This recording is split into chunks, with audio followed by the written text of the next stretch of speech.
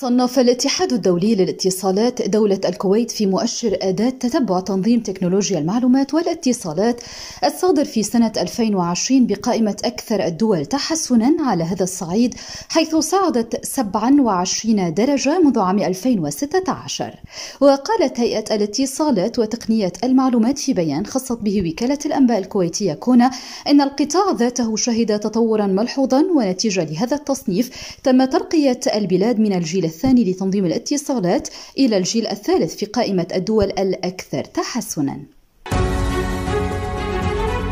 تزامنا مع انطلاق الجولة الثانية من الحوار الليبي الليبي استكمالا للجولات السابقة التي احتضنتها تونس هددت كل من بريطانيا وإيطاليا وفرنسا وألمانيا بفرض عقوبات على أي جهة تعرقل الاتفاق الليبي الذي يهدف إلى إنشاء مؤسسات انتقالية إلى حين إجراء انتخابات في كانون الأول ديسمبر 2021